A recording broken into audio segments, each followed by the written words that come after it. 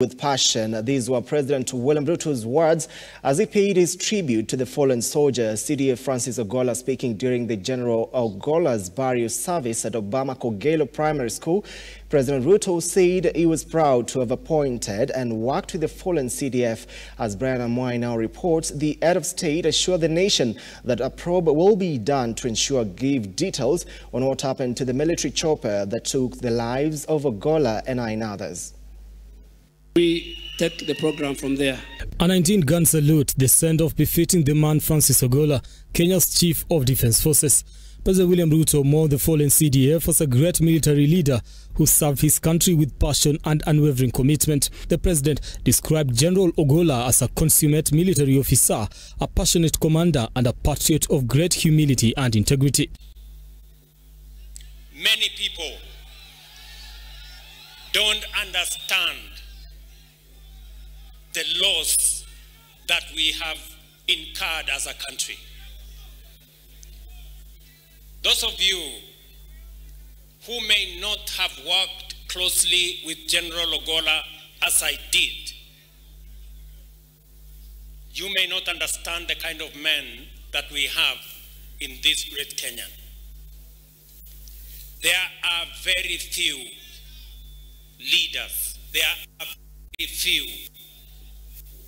people who can fit in the categorization and the shoes of General Ogolla. I say this passionately because I know what Kenya has lost.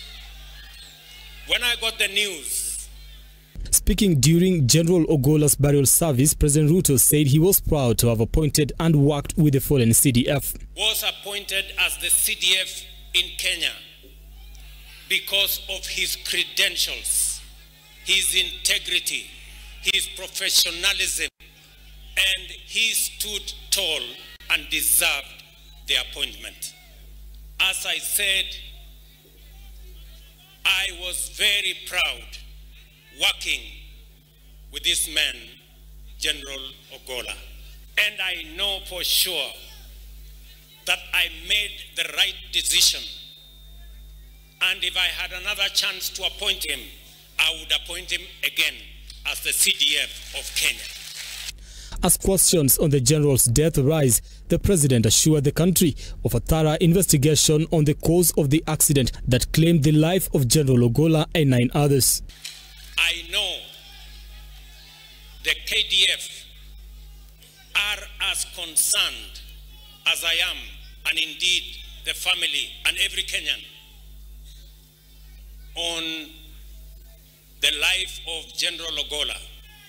And I want to assure the country that the KDF, our Kenya Air Force, have the requisite integrity and professionalism to make sure that there will be no shroud of doubt on what happened to General Ogolla. Having been praised for choosing a Luo as his CDF, President Ruto also said tribalism and ethnicity will no longer drive the politics and governance of the country.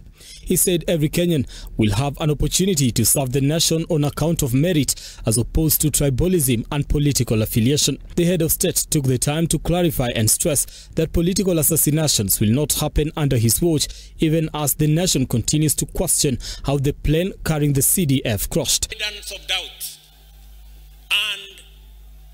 Without any fear of contradiction,